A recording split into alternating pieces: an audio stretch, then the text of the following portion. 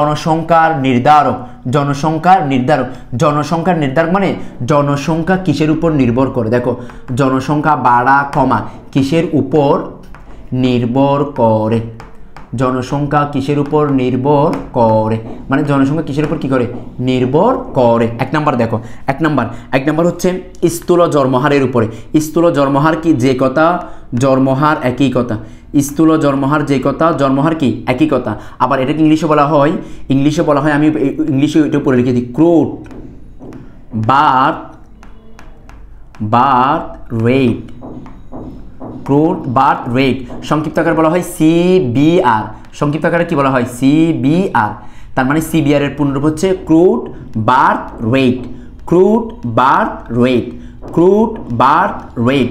CBR সিবিআরকে বলা হচ্ছে স্থূল জন্মহার অথবা জন্মহার। তার মানে এটার উপর কি করে? নির্ভর করে। এক নাম্বার, স্থূল জন্মহার বা জন্মহার। আর মৃত্যুহার যেই কথা, মৃত্যুহার যেই কথা, শুধু মৃত্যুহার একই কথা, স্থূল মৃত্যুহার যেই কথা, মৃত্যুহার একই কথা, স্থূল মৃত্যুহার যে কথা, মৃত্যুহার একই কথা। আর ইংলিশে বলা হয় ক্রুট ইংলিশে কি বলা হয়? Crude death rate death rate crude death rate আর সংক্ষিপ্ত আকারে বলা হয়, দেখো সিডিআর সংক্ষিপ্ত আকারে কি বলা হয়? সিডিআর আগে ছিল CBR CDR CBR CDR CDR CBR CBR CDR স্থূল মৃত্যুহার যে কথা, মৃত্যুহার একই কথা?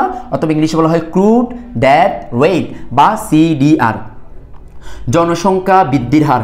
জনসংখ্যা বৃদ্ধির হার। এটাকে বলা হয় জনসংখ্যা বৃদ্ধির হার। জনসংখ্যা বৃদ্ধির জনসংখ্যা ইংলিশে বলা হয় পপুলেশন কি বলা হয়? পপুলেশন জনসংখ্যাকে ইংলিশে বলা হয় পপুলেশন আর বৃদ্ধি, বৃদ্ধিকে ইংলিশে বলা হয় গ্রোথ কি বলা হয়? গ্রোথ আবার হারকে ইংলিশে বলা হয় রেট তার মানে পপুলেশন গ্রোথ রেট তাহলে জনসংখ্যা বৃদ্ধির হার যে কথা পপুলেশন গ্রোথ রেট একই কথা। সংক্ষিপ্ত আকারে বলা হয় পিজিআর সংক্ষিপ্ত আকারে কি বলা হয়? পিজিআর সংক্ষিপ্ত আকারে কি বলা হয়? পিজিআর জনসংখ্যা বৃদ্ধির হার যে কথা পপুলেশন গ্রোথ রেট একই কথা। সংক্ষিপ্ত আকারে বলা হয় পিজিআর পিজিআর তার মানে সিবিআর সিডিআর পিজিআর আচ্ছা এরপরে চার নাম্বার। চার নাম্বার হচ্ছে স্বাভাবিক বৃদ্ধির হার। চার নাম্বার কি আছে? স্বাভাবিক বৃদ্ধির হার। স্বাভাবিককে ইংলিশে বলা হয় নর্মাল কি বলা হয়? নর্মাল অন্য কালার দি। নর্মাল নর্মাল আর বৃদ্ধিকে ইংলিশে বলা হয় গ্রোথ কি বলা হয়?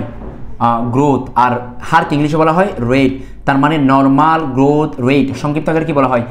এন জি আর এন জি আর তার মানে নর্মাল গ্রোথ রেট এগুলো পূর্ণরূপগুলো তোমার জ্ঞানমূলক প্রশ্নে আসে। পিজিআর এর পুনরূপ কি?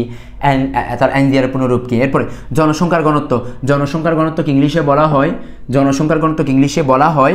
Density of population density of population density of কী হবে পপুলেশন ডেন্সিটি অফ পপুলেশন আর সংক্ষিপ্ত আকারে বলা হয় ডিপি সংক্ষিপ্ত আকারে কি বলা হয়? ডিপি ডেন্সিটি অফ পপুলেশন সংক্ষিপ্ত আকারে কি বলা হয়? ডিপি আর ছয় নাম্বার ছয় নাম্বার হচ্ছে নিট অভিবাসন নিট অভিবাসন নিট অভিবাসন হচ্ছে নেট মাইগ্রেশন কি হবে? নিট অভিবাসনকে বলা হচ্ছে নেট মাইগ্রেশন নিট অভিবাসনকে বলা হচ্ছে নেট মাইগ্রেশন নিট অভিবাসনকে কি বলা হয়? নেট মাইগ্রেশন আর সংক্ষিপ্ত আকারে বলা হয় এন এম সংক্ষিপ্ত আকারে কি বলা হয়? এন এম তার একটু সংক্ষিপ্ত রূপগুলো দেখি তো। দেখো, প্রথমে প্রথমে প্রথমে সংক্ষিপ্ত রূপগুলো দেখো তো।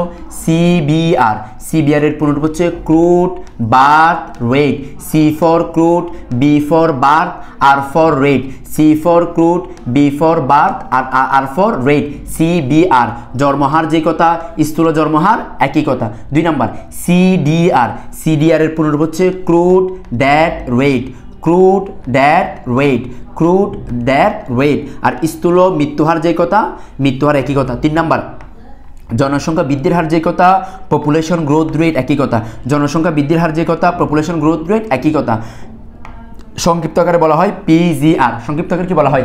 পিজিআর এরপরে, স্বাভাবিক বৃদ্ধির হার। স্বাভাবিক বৃদ্ধির হার যে কথা নর্মাল গ্রোথ রেট একই কথা। স্বাভাবিক বৃদ্ধির হার যে কথা নর্মাল গ্রোথ রেট একই কথা। সংক্ষিপ্ত আকারে বলা হয় এনজিআর কি বলা হয়? এনজিআর জনসংখ্যার ঘনত্ব। জনসংখ্যার ঘনত্ব যে কথা ডেন্সিটি অফ পপুলেশন একই কথা। জনসংখ্যার ঘনত্ব যে কথা ডেন্সিটি অফ পপুলেশন একই কথা। নিট অভিবাসন। নিট অভিবাসন যে কথা নেট মাইগ্রেশন একই কথা। নিট অভিবাসন যে কথা নেট মাইগ্রেশন একই কথা। সংক্ষিপ্ত আকারে বলা হয় এন এম সংক্ষিপ্ত আকারে কি বলা হয়?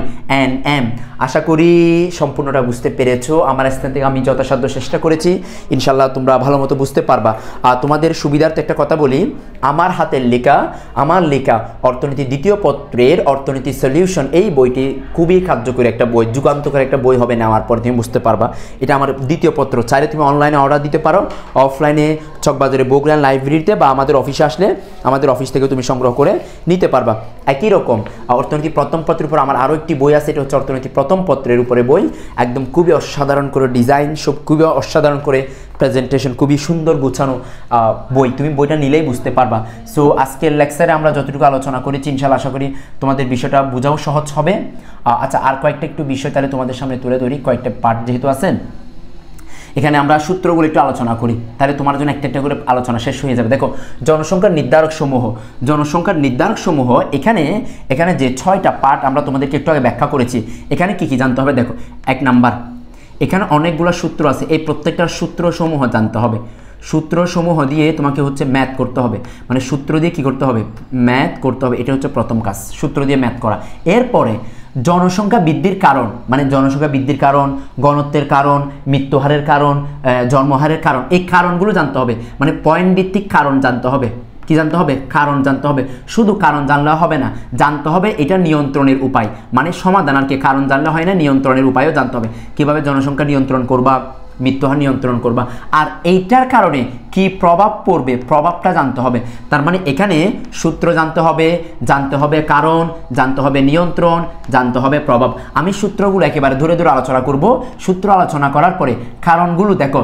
জনসংখ্যা বৃদ্ধির কারণ, তারপর হচ্ছে অধিক জন্মহারের, অধিক মৃত্যুহারের কারণ, জনসংখ্যা বৃদ্ধির কারণ, জন্মহারের কারণ, জনসংখ্যার ঘনত্বের কারণ।